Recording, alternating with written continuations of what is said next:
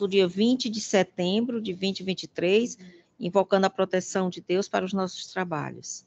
Inicialmente, eu cumprimento as integrantes da segunda Câmara de Direito Público, excelentíssimos desembargadoras Maria Nailde Pinheiro Nogueira e Maria Iraneide Moura Silva, anotando que há duas ausências justificadas dos desembargadores Luiz Evaldo Gonçalves Leite e Francisco Gleidson Pontes. Cumprimentos, excelentíssimos representantes da Procuradoria-Geral de Justiça, doutor Luiz Laércio Fernandes Melo, aqui presente, e também o representante da Defensoria Pública, doutor Antônio Benavides Filho, também presencial. Cumprimento os servidores, integrantes da Secretaria desta Câmara, na pessoa da, da senhora secretária, anotando que os trabalhos serão realizados por ela através do, do, do modo virtual. Também os servidores que possibilitam a transmissão desta sessão, a Força Policial, cumprimento o senhor, viu? Os advogados aqui presentes e os demais que acompanham a sessão de forma virtual. Inicialmente, eu passo para apreciação e aprovação da ata número 33 de 2023, da sessão ordinária do dia 13 de setembro de 2023. Informo é, apenas uma, um, uma observação em relação a essa ata, que é informando a correção do erro técnico no sistema PJE, referente à sessão do dia 30 de 8 de 2023, sendo realizadas as devidas lavraturas dos acordos dos processos julgados nessa respectiva sessão. Já foram sanados né, os equívocos, todos regularizados, os acórdãos lavrados. Ficou adiado apenas para esta sessão o processo apelação civil e remessa 024 14 43 33 2022, uma vez que a, a excelentíssima senhora desembargadora Maria Nailde Pinheiro Nogueira apresentou declaração de voto contrário ao desta relatoria. No momento oportuno será contemplado esse voto. Então, podemos aprovar a ata. De acordo, senhora presidente. Obrigada. Passamos agora para os processos retirados de pauta. São dois. Um, apelação civil 0014-096-43-2018, tendo como apelante Adailson Virgínio da Costa e apelado município de Aracati, relatoria da desembargadora Maria Nailde. E o processo, apelação civil 000-66-64-62-2018, apelante Ministério Público do Estado do Ceará, e o apelado Júlio César da Costa Alexandre, relatoria também da desembargadora Maria Nailde Pinheiro Nogueira. Aqui é apenas uma observação, que a sustentação oral requerida pelo Ministério Público fica prejudicada por conta da retirada de pauta.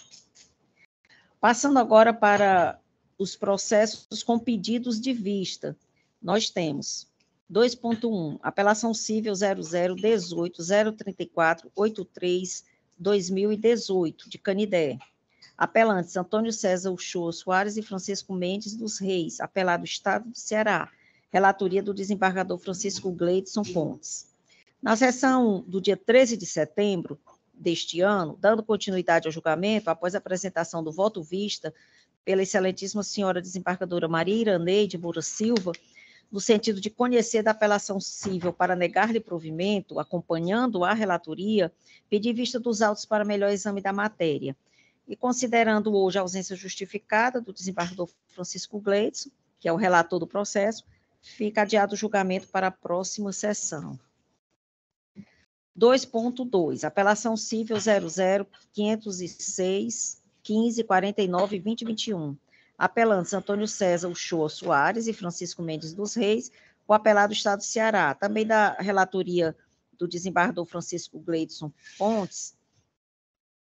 E da mesma forma, na sessão do dia 13 de setembro, dando continuidade ao julgamento, após a apresentação do voto vista, da excelentíssima senhora, desembargadora Maria Iraneide Moura Silva, acompanhando a relatoria, também pedir vista destes autos para melhor exame. Fica, assim, é, adiado o julgamento, considerando a ausência justificada do relator. 2.3, apelação civil 000574743-2019. Apelante ELOA e o apelado é do C. Relatoria do desembargador Francisco Gleidson Pontes. Na sessão do dia 6 de setembro do ano em curso, dando continuidade ao julgamento, após o voto do eminente relator, no sentido de conhecer da apelação para negar-lhe provimento, pedir vista dos autos. O julgamento foi adiado. E na sessão do dia 13 de setembro, dando continuidade ao julgamento, comuniquei que apresentaria o meu voto vista na próxima sessão, que seria hoje. Mas considerando a ausência do desembargador Gleitson, né, da mesma forma, fica adiado o julgamento. 2.4, apelação civil 00511478282020. Apelante Maria José Gonçalves Teixeira, apelado Serviço Autônomo de Água e Esgoto do município de Guatu, da minha relatoria. Na sessão do dia 13 de setembro do ano em curso, dando continuidade ao julgamento após o voto desta relatoria, no sentido de conhecer da apelação civil para dar-lhe provimento, pediu visto dos autos para melhor exame a excelentíssima senhora desembargadora Maria Nailde Pinheiro Nogueira. Mas considerando a ausência justificada do desembargador Francisco Gleitson, então também fica adiado, né, desembargadora Nailde, para a próxima sessão. Com certeza. Passando agora ao 2.5, é o agravo de instrumento 0638235762022. Agravante Vicente Júnior Leite Tavares e agravado município de Aurora. Relatoria do desembargador Francisco Gleidson. Na sessão do dia 13 de setembro, após a sustentação oral pelo advogado da agravante, o eminente relator apresentou seu voto visto no sentido de conhecer do agravo de instrumento para negar-lhe provimento, na sequência, pedi vista dos autos para melhor exame, o julgamento foi adiado para a presente sessão, mas considerando a ausência justificada do desembargador Gledson, fica adiado. Para a próxima, naturalmente. 2.6, apelação 013 42 38 57 2013, apelantes Adriana Maria Rodrigues da Silva Lucas Rodrigues da Silva e Aline Rodrigues da Silva. O apelado ao Estado do Ceará. A relatoria da desembargadora Maria Nail de Pinheiro Nogueira. No dia 13 de setembro do ano em curso, após a sustentação oral do advogado dos apelantes, a eminente relatora apresentou seu voto visto no sentido de conhecer da apelação civil para dar-lhe parcial provimento. Na sequência, o excelentíssimo desembargador Francisco Gleidson pediu vista dos autos o, adia, o julgamento foi adiado e, considerando a sua ausência hoje, fica novamente adiado para a próxima sessão. Nós temos agora um julgamento, um processo com julgamento suspenso, que é a apelação em remessa necessária 024 14 43 33 2022. Apelante é Rio Rio Lux, Indústria e Comércio Limitada. O apelado é o coordenador de administração tributária da Secretaria da Fazenda do Estado do Ceará, sob a minha relatoria. No dia 30 de agosto do ano em curso, dando continuidade ao julgamento, após a apresentação do voto desta relatoria, no sentido de conhecer da apelação e da remessa necessária para dar-lhes provimento, a excelentíssima senhora Maria Nailde Pinheiro Nogueira apresentou declaração de voto contrário, no sentido de conhecer da apelação, mas para negar-lhe provimento. Aberta a divergência, eu converto, então, o julgamento em estendido, conforme o artigo 942 do CPC, mas adiando também o julgamento por conta da composição do, da, desta Câmara. Vamos passar agora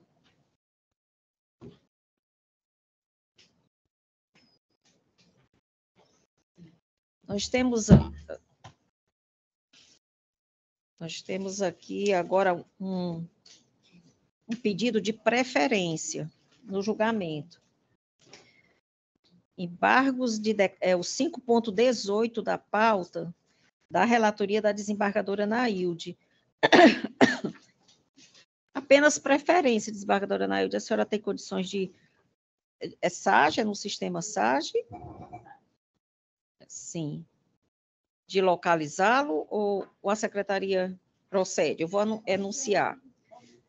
É. 5.18, embargo de declaração 0004 557 90 2015 806 0089 50 mil. Embargante é Icapreve e embargado Jackson Fábio da Costa. E, e outro, é, deve ser aqui apenas tenho essa anotação. Pronto, e outro, exatamente, estão sendo confirmado. Apenas para, para Vossa Excelência enunciar o voto por conta do pedido de preferência. Eu não estou conhecendo. Sim. Vossa Excelência não conhece dos embargos de declaração. Então, uh, como vota a excelentíssima senhora desembargadora Iraneide? Obrigada, senhor presidente. Eu, eu é, acompanho a eminente relatora. Como a, posso. Precisa anunciar novamente o número? Não, não, não. Não? É 5.18. 5.18 da pauta. Conhecido e não provido. É, embargos conhecidos e não providos. Certo. Embargante é Instituto de Previdência dos Servidores Públicos do município, é isso, né? E o embargado Jackson Fábio da Costa e outros. E outros, e vários outros. Conhecido, conhecidos e não providos. Também da mesma forma, me, me pronuncio acompanhando a eminente relatora. E tudo só, só para deixar bem claro, embora é, é feita essa pequena retificação também, é, da mesma forma eu já eu já acompanhei provisoriamente, eu ratifico. Exatamente, é, nós já havíamos acompanhado provisoriamente aqui para o, requerimento da nobre advogada, aqui presente, e já havíamos nos pronunciado provisoriamente, mas em atenção à sua presença, estamos ratificando o, o voto. Então, proclamo o resultado, embargos conhecidos e não providos. Obrigada, senhora, viu, a sua presença. Passaremos agora a, ao item 3 da pauta, que são os pedidos, os processos com pedido de sustentação oral. O pedido já anunciado 5.23, apelação civil 0006664, 62, 2018, está, o pedido foi feito, não é, pela nobre procuradoria, mas foi prejudicado por conta da retirada de pauta, então já, já está anotado. 1.36 da pauta é um agravo de instrumento, número 3.000, é sistema PJE, 3.282, 42, 2023, Relatoria da desembargadora Maria Iraneide Moura Silva. Agravante município de Juazeiro do Norte. Agravada é, é Liane de Souza Lima. As advogadas, doutora Maria Gabriela Oliveira Santos e doutora Maria Eduarda Henrique Mascarenhas. Se encontram na sala as doutoras que requereram a sustentação oral. Sim, doutora. Excelência. Pois não, doutora Gabriela. Doutora Gabriela, aqui vejo que o voto atende aos interesses da agravada. Vossa Excelência dispensa a sustentação oral? É, dispensa, Excelência. Muito obrigada. Então, passo a palavra à relatora, desembargadora Maria Iraneide, para a síntese do julgamento. Obrigada, senhora presidente. É, creio que é, não haja prejuízo, é, é que no momento estou tentando acessar aqui o PJE, e não estou conseguindo. É mais mas é isso mesmo, a, a, o resultado deste processo, ele atende ele aos atende. interesses das agravadas. Então, doutora... No final da sessão, né, quando permitido, o voto será lançado em sua íntegra. Obrigada, desembargadora Iraneide. Então, vou anunciar o julgamento é, agravo de instrumento conhecido e desprovido. E logo em seguida será disponibilizado né, todo o inteiro teor, então a doutora Maria Gabriela poderá conferi-lo. Passando aqui ao processo 1.35. Agravo de instrumento 3.546-59-2023, também é do PJE. Relatoria da desembargadora Maria Iraneide Moura Silva. Agravante, Samara Lívia Silva Santos e agravada Secretaria Municipal de Educação. Requereu aqui a sustentação oral o doutor Augusto Mamede de Souza Brito, advogado da agravante, a senhora Samara Lívia. É.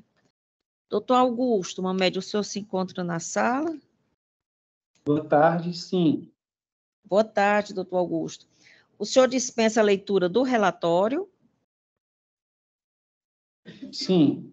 Sim. Então, eh, eu passo a palavra a, a Vossa Excelência para a sua sustentação em 15 minutos. Boa tarde a todos os componentes dessa Câmara, é, dessa Câmara de Direito Público. Uh, venho aqui para expor o direito da agravante, uma vez que a mesma ela se encontra, é, ela, é, ela é servidora municipal, primeiro ponto, e que ela, mesmo, diante de ser servidora municipal, ela foi eleita no dia 21 de outubro de 2021 para exercer mandato eletivo junto ao Sindicato de Servidores Públicos de Itapajé em a partir de 1 de janeiro de 2022, no qual ah, o mandato termina em 1 de em 31 de dezembro de 2025 e no qual o município ele fez a sua sessão para que ela possa desempenhar seu mandato classista e que, ah, após algumas lutas que o sindicato travou junto à administração, mediante foto e aparição da agravante, o município revogou a sua sessão junto à, à Secretaria de Educação, no qual a servidora ela é, estava lotada. Diante disso, segundo o artigo 113 da Lei 1213-93, que é o Estatuto de Servidor Público Municipal de Itapajé, ele garante que os servidores que são eleitos ah, para o desempenho de mandato classista dentro de confederação, federação, associação de classe municipal, sindicato, que ah, é no qual está inserido, ah, a permissão com que ele possa se afastar, uma vez que o parágrafo primeiro diz que somente poderiam ser licenciados servidores eleitos para cargo de direção.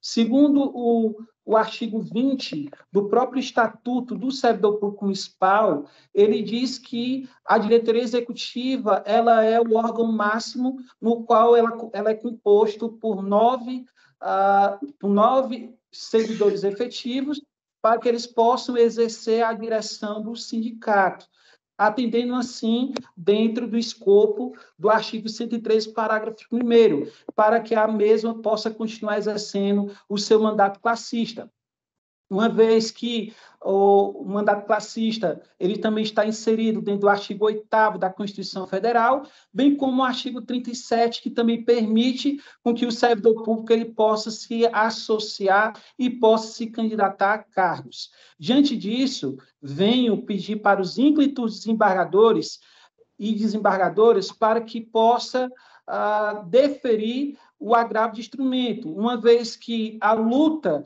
do sindicato ela está, de certa forma, prejudicada, uma vez que a ausência de pessoas para estar no embate diário, já que o sindicato consta, conta com mais de mil servidores filiados, faz com que a luta sindical ela possa ser enfraquecida. Diante disso, pede-se o deferimento do presente agravo. Obrigada, doutor Augusto Brito. Passo então aqui a palavra à nobre relatora, desembargadora Maria Iraneide. Senhora presidente, estou com um pequeno problema técnico, o rapaz já foi chamar o, técnico aqui então, para se resolve. Eu faço a, a leitura da, da, da síntese, da, emenda, da síntese do, do, do voto, tão logo seja certo, permitido pronto. aqui o acesso ao PJE. PJE. É, eu peço para a compreensão aqui ao, ao nobre advogado que aguarde que isso será solucionado. Esse processo está no outro sistema, não é que está sendo implantado, então sempre pode acontecer algum, algum imprevisto. Então, vamos aguardar um pouco.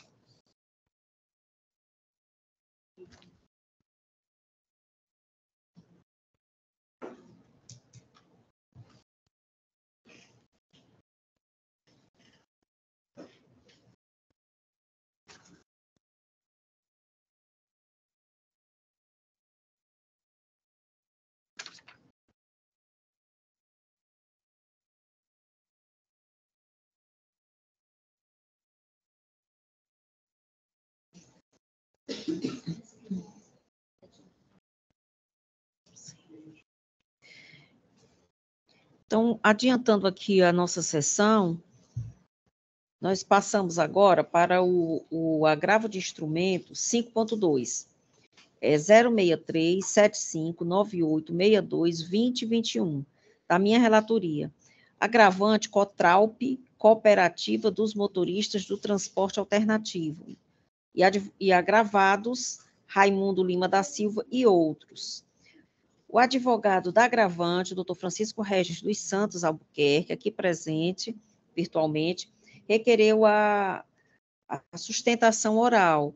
Mas eu gostaria, doutor Francisco Regis, de lhe adiantar que no, na composição da nossa turma, há, há, um, há um voto, há uma, há uma declaração de suspeição da desembargadora Nailde. Então, nos obriga a adiar o processo, porque nós não temos a formação da turma. Hoje nós estamos apenas com os três desembargadores. Então, eu anuncio que esse julgamento fica adiado na próxima sessão, já fica consignado o seu pedido, o senhor não precisa reeditá-lo. E agradeço muito a sua presença. Ah, excelência, eu vou estar em Brasília, no meu escritório lá na próxima semana, mas eu vou fazer de lá também, novamente, e eu entendo também a questão, porque a desembargadora Naildes, enquanto presidente, é, ela teria um efeito suspensivo né, na, na questão aí do processo, eu Sim. agradeço e na próxima quarta-feira estarei, na próxima estarei de volta. Na próxima quarta estaremos, né, julgando este processo. Obrigado. Então, que a secretaria, por favor, consigne a, o adiamento deste processo. Okay, Agora nós vamos re, retomar, retomar, a, a, aguardar o julgamento do processo anterior, porque nossa pauta já está praticamente encerrada, então eu não posso adiantá-la. Então, nós, nós estamos retornando ao 1.35 da pauta, anunciando novamente agravo de instrumento número 3.54659-2023, pelo sistema PJE, sob a relatoria da desembargadora Maria Iraneide Moura Silva. Quando Vossa Excelência puder, desembargadora. Certo, eu vou a, a, a, reeditando. É, agravante, Samara Lívia Silva Santos. Agravada é 3.546. Dígito 59 2023 806 0000. Muitos do, do sistema PJE, acho que a, a maioria é dos PJE.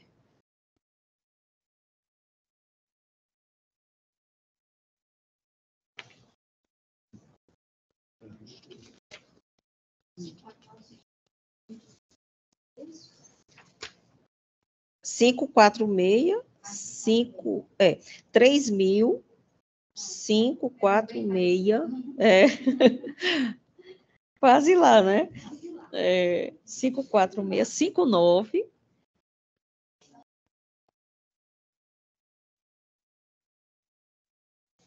é um agravo de instrumento.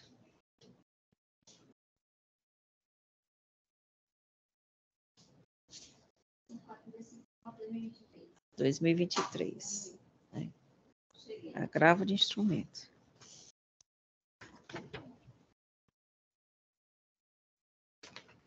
Sustentação oral do doutor Augusto Mamed de Souza Brito.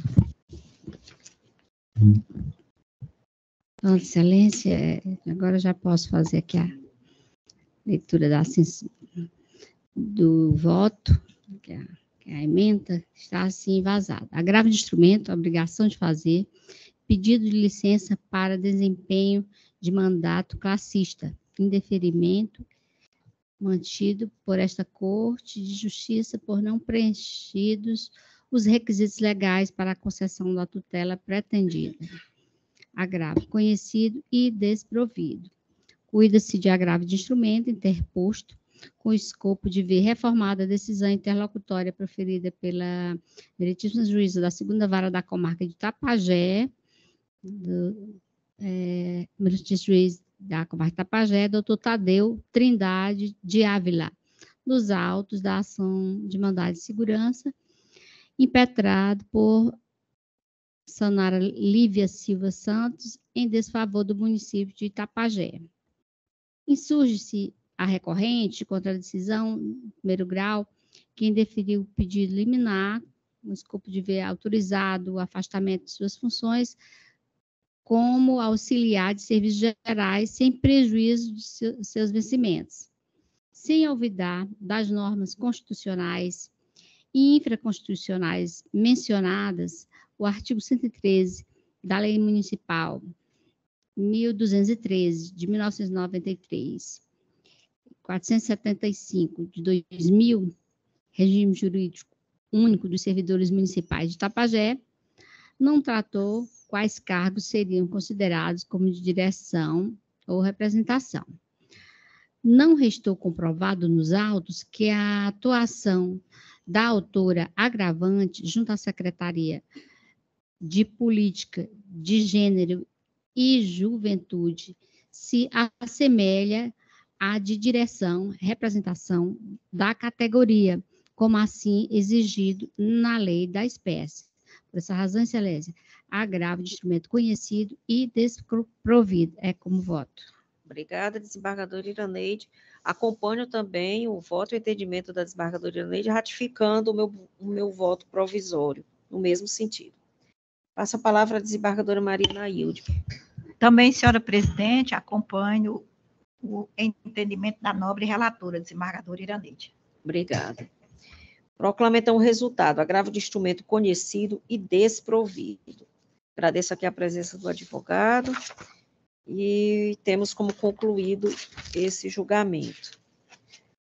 Passando agora a concluídas as sustentações orais, né, passamos agora às manifestações da Procuradoria-Geral de Justiça e da Defensoria Pública Indago o excelentíssimo representante da Procuradoria-Geral de Justiça, doutor Luiz Laércio Fernandes Melo, se há alguma manifestação nos processos. Não há requerimento, excelência. Obrigada. Indago também ao excelentíssimo representante da, Defensor, da Defensoria Pública, doutor Antônio Benevides Filho, se há alguma manifestação nos processos de interesse de vossa instituição. Nenhuma manifestação, excelência. Muito obrigado pela oportunidade. Obrigada. Passo agora é, a indagar os integrantes da Câmara se ratifica os votos provisórios proferidos nos processos de pauta, é, nos sistemas SAGE, PJE, inclusive aqueles em que ter, houver não é, alguma declaração de voto em contrário, se for o caso. Então, desembargadora Maria Nailde. Então, senhora, ratifica? Senhora presidente, eu ratifico a, a minha votação provisória inclusive nos dois sistemas, né? O PJE e o SAG. Desembargadora Maria Iraneide também ratifica? Também, senhora presidente, eu ratifico todos os meus votos que proferi como relatora e como vogal nos sistemas PJE e SAG. Certo. Da mesma forma, também ratifico os votos provisórios em ambos os sistemas como relator e vogal, não havendo nenhuma é, divergência. Aqui passo a indagar a nossa secretária se já há condições de, de pronunciar o número de processos julgados hoje. Ah, sim, excelência. Foram julgados 59 processos. Certo. 59 processos, né? Isso. Também indago aos pares e presentes se há algum registro a ser feito nesta Pô, sessão. Pois então, senhora presidente, eu recebi da presidência, desembargador Abelardo, é, esse documentário aqui das estradas da Serra de Guaramiranga. E estive a contemplar aqui o acervo fotográfico Sim. que consta deste manual. E também achei muito interessante o, o Otton Sá Cavalcante, quando buscou nos brindar com essa com essa coletânea de fotografias lá da Serra, de várias cidades que formam aquele maciço de Baturité, Pacuti, Guaramiranga, Mulungu, o próprio Baturité, é, ele menciona que é uma homenagem ao pai do próprio Otton Sá Cavalcante, que é o, hoje denominado, né, é, o, o, hoje prestigia o colégio Ari de Sá Cavalcante, né? O nome do seu pai. É, Sim. Ari de Sá Cavalcante, que completou 100 anos de sua existência no ano de 2018. Então, eu quero propor aqui um voto de parabéns ao professor Otton e também destacar aqui esse centenário desse grande mestre que deixou a sua história, deixou Sim. o seu legado, e que hoje eu recebi também do desembargador Abelardo o próprio livro que diz respeito ao centenário de nascimento do professor Ari de Sá Cavalcante. Então, é uma história bonito. belíssima, porque traz toda a, a- a- árvore né, gen- genealógica, tá entendendo? O seu legado, o seu Sim. lado pessoal, o seu lado profissional. Então, festejarmos o centenário do professor Ari de Sá Cavalcante é lembrar desses grandes ídolos, principalmente ele, que foi um educador e contribuiu para que hoje nós tivéssemos grandes nomes cearenses brilhando Sim. por aí afora, por, Por essa conta- educação que foi recebida através deste grande estabelecimento. Então, propor o voto de parabéns aqui ao professor Otto, né, pela iniciativa, e também uma comemoração do centenário do professor Ari de Sá Cavalcante, que é pai do Otto Do- e é também pai do Thales. O Otto ah. do, do Ari de Sá Cavalcante e o Thales, que é o dono do Farias Brito. Então, em nome desses dois filhos, existem mais, que eles sejam comunicados deste pedido aqui de parabéns pela iniciativa e também pelo pelo, momento, centenário, né? Ótimo. Obrigada, desembargador Nailde. Muito bem lembrado aqui. Nos acostamos, né, todos. Encaminharemos. Exato. Nosso cenário educacional, né, se destaca. É, com certeza. E continuando aqui, desembargadora, eu quero aqui também propor, que eu acredito, não sei se foi feito aqui, é, proposto aqui um voto de pesar pelo falecimento da mãe da desembargadora Edith. Não, né? Então, eu queria propor, hoje, por Sim. sinal, é a missa de sétimo dia, né, às Sim. 19 horas, lá na Paróquia da Paz, essa família numerosa de grandes talentos, né, cearenses, seja na área da medicina, seja na área do direito, seja na área da educação. Então, a dona Dáulia conseguiu eh, formar filhos em várias áreas de atuação. E realmente é uma matriarca que deixa muito o seu legado, inclusive da educação. Da educação, o colégio, né? que Isso, tem. E hoje eu também quero propor aqui um Amém. voto de parabéns pelo falecimento da senhora Maria Vera Lúcia Machado. Eu?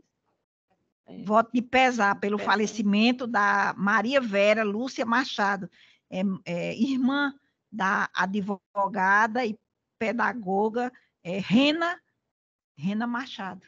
Então, é uma Sim. amiga de longas datas e que Sim. lutou muito, é, adquiriu câncer, mas foi questão de tempo e realmente hoje também é a missa de sétimo dia Também a dela. missa de sétimo. Então, faça aqui essas duas propostas de voto de pesar. Pois não, desembargadora Nailde, nos acostamos também.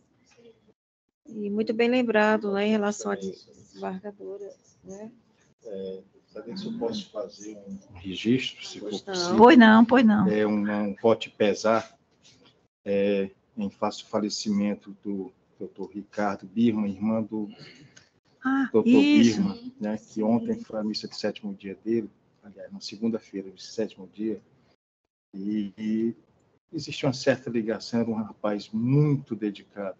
E o irmão dele também, que cheguei a trabalhar com o doutor Birman, é um juiz É. também muito atuante aqui do TJ Ceará, Exato. e eu queria propor essa nota de pesar para a família do doutor Do doutor Ricardo Birman, do Sim. doutor Birman. Será? Em cor, doutor plena Bené. cor, é. A, a desembargadora é, doutor- é Idegard. Faça aí para você. sim. Presidente, ela é ser um servidor Foi, né? é, do tribunal, né, do tribunal por muitos anos, é, não sei o nome dele completo, completo mas é Idegard, né? Isso, Lá- é, Estou parece procurando que- aqui é, quem foi que me noticiou, mas enviaram essa, essa informação. É servidor É, antigo aqui da casa. Da, da casa. Antigo da casa. É. né? Parece que É. passou mal numa caminhada e Isso, é, e desse passar mal ele faleceu. é, faleceu. É muito justo É, assim, lembrar dos Então, logo, servidores, né? Do, de- é, da desembargadores nossa locais casa. aqui, o nome a gente repassa Isso, eu repasso para a Ismênia, viu? Né? Nós vamos localizar e repassar para a família. Então, agradeço muito a todos né, pela presença, o trabalho, o empenho e desejo uma excelente semana e até a próxima semana com, de- com as graças de Deus. Até logo, Amém. boa tarde a todos. Boa tarde. Obrigada, boa tarde, Ismênia, tudo de Boa bom. tarde. Obrigada, igualmente. Bastante tarde de trabalho.